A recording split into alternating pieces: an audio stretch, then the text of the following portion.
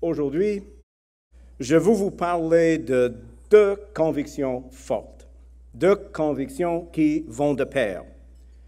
La première, pour servir le Québec et ses déposants, la Caisse doit devenir une organisation véritablement mondiale.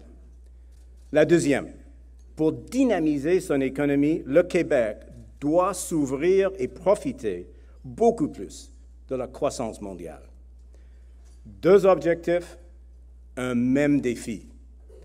Un défi difficile, exigeant, mais crucial. Celui de nous mesurer au monde entier.